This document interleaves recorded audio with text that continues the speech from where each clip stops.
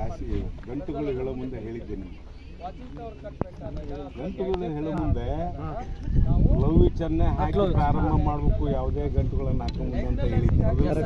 ಈಗ ಹಂಗೆ ಲವ್ ವಿಚ ಹಾಕೊಂಡ್ವಿ ಅಂತಂದ್ರೆ ಒಂದಕ್ಕೆ ಇಂಚ್ ಹಾಕ್ಬೇಕು ನೋಡ್ರಿ ಟಿಂಬರ್ ಇಂಚ್ ಎರಡು ಸೇರಿಸ್ತೇವೆ ನೋಡ್ರಿ. ಎರಡು ಕೋಲಿ ತೊಗೊಂಡಿನಿ ಆಗ ನೀವು ಟಿಂಬರ್ ಇಂಚ್ ಹೇಳಿರೋದು ಒಂದು ಕೋಲ್ ಇಟ್ಟಿನಿ ಓಕೆನಾ ಈಗ ಇವೆರಡು ಡಯಾಗನಲ್ ಲ್ಯಾಸಿಂಗ್ ಪ್ರಾರಂಭ ಆಗೋದು ಟಿಂಬರ್ ಇಂಚ್ ಪ್ರಾರಂಭ ಆಗಿದೆ ಅದರಿಂದ ವಿಚ್ ಹಾಕಿದ್ವಲ್ರಿ? ಸೊ ಇದನ್ನ ಸ್ಕ್ವೇರ್ ಲ್ಯಾಸಿಂಗ್ ಹಾಕ್ಬೇಕಾದ್ರೆ ಫ್ಲೋ ಇಂಚಿಂದ ಪ್ರಾರಂಭ ಆಗುತ್ತೆ.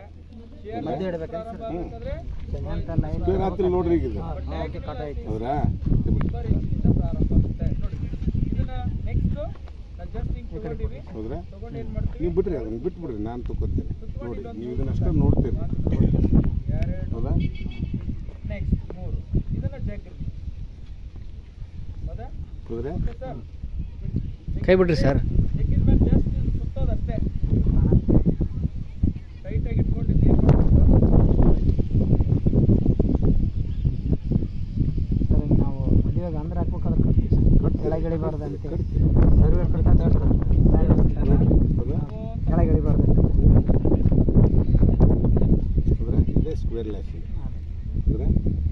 ಕೆಳಗಡೆ ಬಂದದ್ದು ಕೆಳಗಡೆ.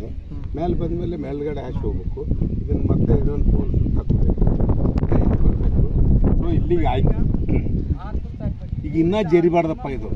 ಮತ್ತೆ ಇದನ್ನ ಏನು ಮಾಡ್ತೀವಿ ನಾವು? ಇದು ಹೌದಾ? ಹೌದ್ರಾ?